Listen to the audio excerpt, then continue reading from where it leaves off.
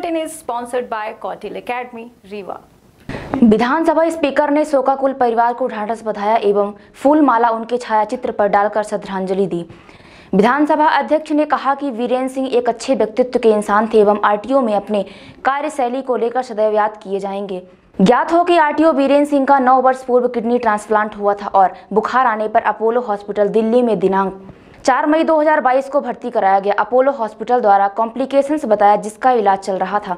इलाज के दौरान दिनांक 17 मई 2022 को सुबह चार बजकर बत्तीस मिनट में वीरेंद्र सिंह का निधन हो गया।